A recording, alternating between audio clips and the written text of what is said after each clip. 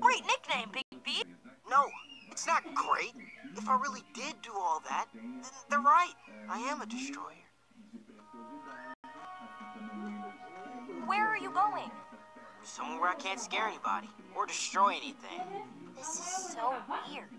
Yeah, everyone always likes Beshte. Indeed. Nawasa, Nawasa, Nawasa.